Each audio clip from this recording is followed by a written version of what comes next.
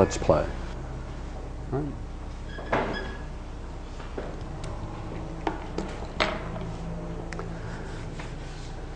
Tonight we are going to explore an old problem, the problem of the one and the many. And why it's a problem? Ah, that's easy to explain. But there's another problem, which is going to go through the whole talk, goes through all philosophy. And that's this one. We are awake and we see things and we talk. But while we are awake and we see things and seem to be clear about what it is we see, we don't have a clear enough idea of what shapes our vision. And so we fail to grasp how our own expectations limit that vision. That's the real problem. That's the real problem. Let's see if I can make it clear.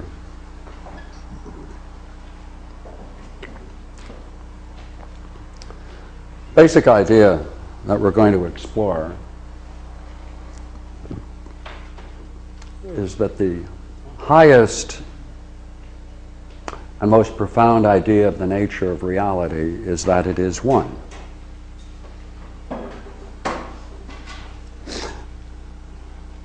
And along with it is the idea that since it is totally partless, partlessness is its nature.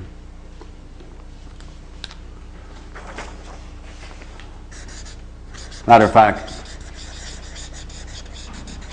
Plotinus argues that its highest reality should really be called the partlessness rather than the one. What goes along with this idea, therefore, of the one, pure one, is that once you understand it, it's obvious. It has to be obvious, or you don't understand it. If you understand that it's obvious and it's one, then we can get to this problem. So it may take us a moment. So we're going to assume the Platonic view in this discussion of the nature of reality. The highest reality, therefore, is called the One.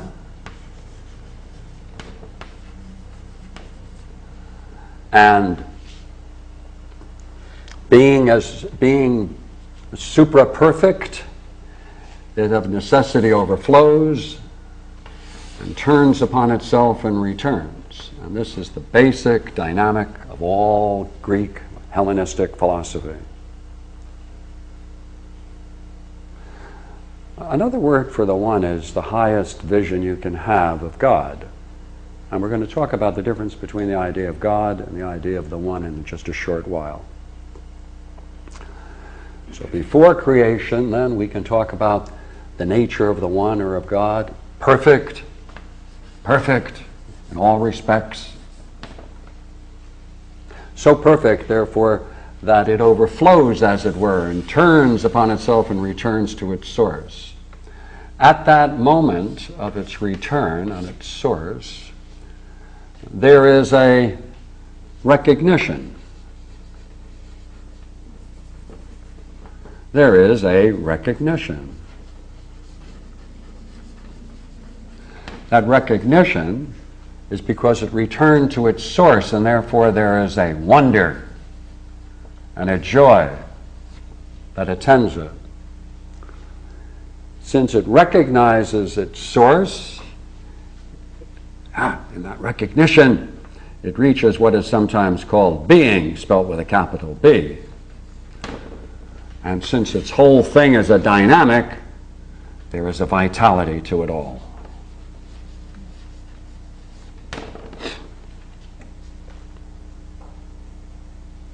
Now, the Greeks, philosophers, put all of that together, sometimes with one idea and sometimes with another. But most often, they call it with the big word being.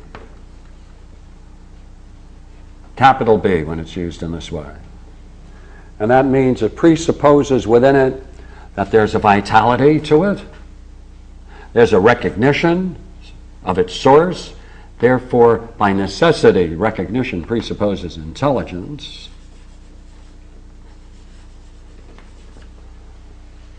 Therefore, the very nature of reality overflows being so perfect.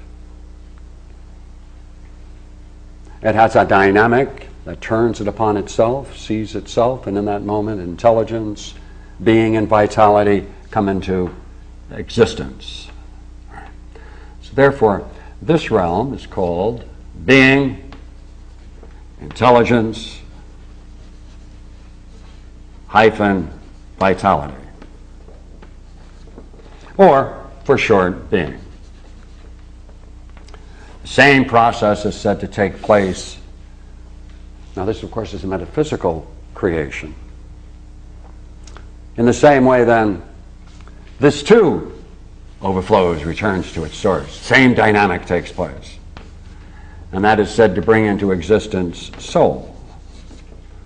And then, once more, soul and body, and therefore, this is the metaphysical creation, as it were, through these five stages here. The one being soul, soul and body, and beyond that, of course, is just matter. Five stages. We want to talk about this, the highest concept of the divine called the One. And in order to talk about that, we want to contrast it with the idea of God. So now we're going to contrast this idea of the One and God. And why, in the game of philosophy, there's always the choice of which term to use, and among Platonic philosophers, it's always this. Should always be with a capital, of course. That the one is chosen over the idea of God until the last step is made. So then, let's take a look.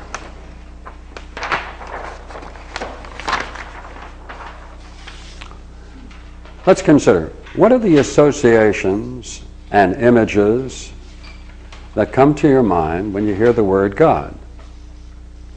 Does it entail certain roles and certain actions that fit and are in accordance with that role? Right? Does the idea of God generate naturally a whole set of associations? Images, images images. And On the basis of those images, are you, the individual, required to take on certain roles to do and not to do?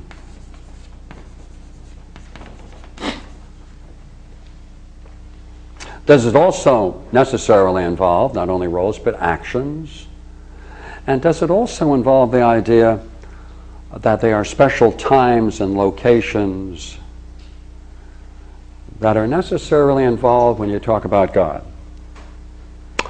Like, are there special locations such as churches and temples?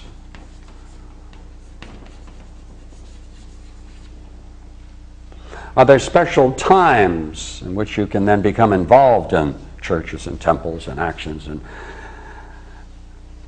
and ways of being? That you then get involved even more fully in the images and in the associations. And I guess you would say, yes, all of that is true. And each person might